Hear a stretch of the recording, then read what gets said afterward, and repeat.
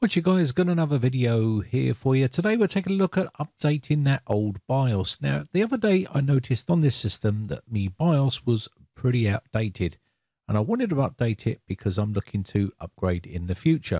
So let's first go to system information and we can take a look inside system information here. We can get our BIOS version and our motherboard uh, make. As you can see on the list here, if we'd look on this list, you'll see that the motherboard is the Tough Gaming X570 Plus Wi-Fi and you can see UEFI is the BIOS mode and we can also uh, see on here the BIOS version and it will tell you the date here 1st of the 8th uh, 2019 you can also use free programs like CPU-Z. CPU-Z is a free tool that gives you plenty of information about your CPU, your motherboard, and other stuff like that. So let's go ahead and take a look at CPU-Z quick. So I'll just let this fire up and then we can have a look at CPU-Z. So I'm going to open this and you can see under the CPU, it tells us what the CPU is. If we go to the main board, which is our motherboard, you can see it tells me it's a Tough Gaming X570 Plus Wi-Fi. It tells us it's an Asus and it also tells us down here the BIOS, the version 1005, and you get a load of information like the date and things like that. You've also got information here about the memory and all your timings and all that sort of good information, which is quite useful. So now we have that information, we can head over to the manufacturer's website of that motherboard and check out the BIOSes that are available for this motherboard. So this is my motherboard here, Tough Gaming X570 Plus Wi-Fi. And again, all we need to do here is go for the CPU and memory support here. You can check all that information here. You can also go for the driver utility and you can put in the version and it will give you all of the drivers for that motherboard. But what we're interested in here is the actual BIOS and firmware. So you click on this one here and it will tell you the latest BIOS version 4403. As you can see, I've not updated this BIOS in a very long time and that's because it's working perfectly fine and I had no reason to update it. And that's going to be uh, your choice whether you flash or update your BIOS. But you can see here, by using the latest BIOS, it's going to allow you to fix AMD's FTPM issues causing random stuttering. It also gives you some other information here. So let's check back and see how far back our BIOS is. So by looking at the version number here, you can come all the way down and you can see there is tons of BIOS updates available. And these will offer loads of fixes bug fixes, improve stability, and things like that. Now, what you're trying to avoid here is beta versions. You don't want to be flashing your motherboard BIOS to a beta version. Try to steer clear of those ones there. Now, like I said, we can got to go all the way down here for our latest BIOS that we have on our system.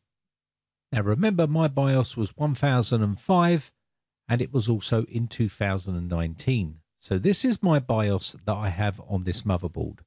So anything after this is going to be an update. Now read the description here because this is important.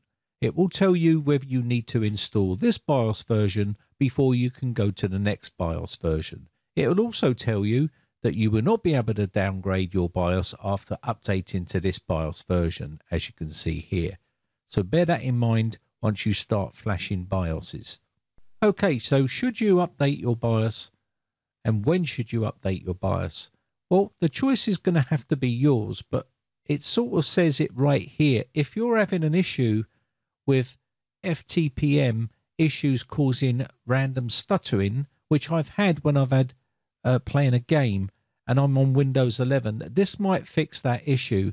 So if you're having some sort of issue like instability or some sort of RAM issue because you've built a brand new PC and you've got RAM and it's not on the compatibility list, they may have added that RAM to the compatibility list, which will then make it uh, run a lot better. You may be having issues with timings, or you may want to upgrade the CPU on that motherboard, and you won't be able to until you update your BIOS because it might say you will need this BIOS update to run the next generation of CPUs. Loads of reasons why you would need to update your BIOS. But remember, there's no real need to go out and update your BIOS unless you really need to update it. So there's enough waffling on. Let's get on with the update here. I'm going to download the very latest version here. And here it is right here. And what I'm going to do is we're going to open this up and we're going to drop this onto a flash drive. Okay, so let's go ahead and open up this PC. And you can see here we've got a drive here. I'm going to right click on this. We're going to format this to FAT32. We're just going to say start and click OK. It will erase all the data on that drive, but that's okay. And then we got our drive ready. So all I need to do here now is basically copy the file over to that drive. And you can see it's being copied over. And I'm just going to leave it in this root directory of that drive. So now we're ready. So now we need to boot to our USB flash drive. So you may need to push any one of these keys to get into the BIOS. I'm going to be pushing either F2 or the delete key, as you can see at the bottom of the splash screen here that flashes up very quickly. Your motherboard BIOS key may be different to mine, so just check. Once you've done that, you should be able to get into the BIOS and we've already got the USB flash drive still plugged into the computer here. You really want to keep that USB flash drive plugged into the motherboard at the back of the computer. That's the best place for that USB flash drive. So what we're going to do here is going to go to advanced mode, click on the advanced mode, and this will allow us to see some more options available. So now you should see up the top there, you've got a menu. I'm going to click on tool here so we can get access to the easy flashing utility here. So let's go to tool and click on this one here and you should see the Asus EZ Flash utility unless you're using another brand of motherboard. Once we click on this, you'll see please select the BIOS update method. You can either do it via the internet or you can do it via a storage device, which will be your USB flash drive. So I'm going to be clicking on that one there. And what it will do is it should show you uh, the BIOS flash drive uh, that we've just created in the list here. Now you can see the version of our BIOS listed up the top here, 1005, and it tells you the date that that BIOS was installed on that motherboard, as you can see here. So we do have the information inside here. So all we need to do is click next. Now on your flash drive, if you've got the root directory and you dragged it in there on FAT32, you will see the file named Tough Gaming or whatever file yours is. Click on this and it will say important notice, please back up your BitLocker recovery key uh, and suspend BitLocker encryption before you continue. Also, it's going to say, do you want to read the file? It means the flash file that we've got on our uh, flash drive to flash the BIOS. And it's going to say yes. And then we can say, do you really want to update your BIOS? Now, why is it warning you about these things? Well, if things go wrong during this process, like your PC shuts down or maybe uh, you have a power cut or whatever reason you stop the process during the flashing process and it's already erased your BIOS, you will then have a bricked motherboard.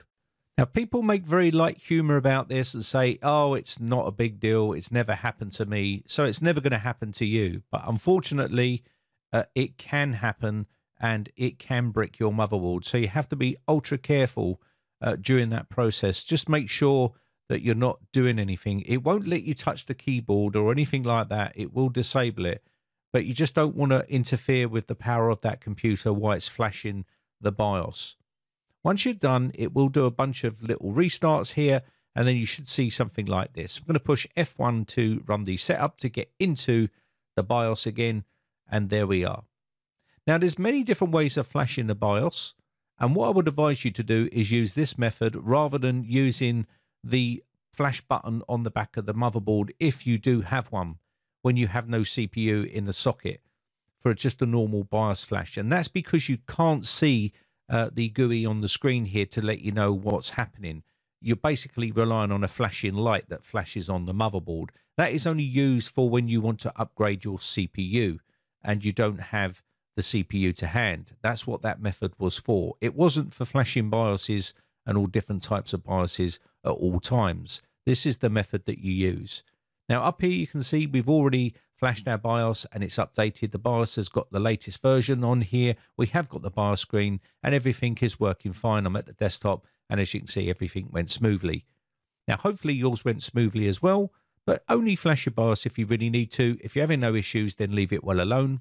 So remember BIOS flashes are going to fix any instabilities with the system or any sort of uh, memory or any CPUs that you want to upgrade to at a later date, or maybe it's a case of any sort of patches for any security flaws that they found in the system, which people can exploit using uh, the BIOS. So they will flash it. So if you've got the need to do all of these things, then by all means go ahead and do it at your own risk. If not, then leave it well alone. Anyway, but that said, I think that's going to be about it for this video. My name has been Brian from briteccomputers.co.uk. Just want to say a big special shout out to all my YouTube members who join my YouTube members group. Also, a special shout out for my tier three uh, members Albert Hewson, Miles Sierra, Jedi Buddhist, Welsh Tony One, Phil's Computer Repair, and Geo Sam. See you in the next video.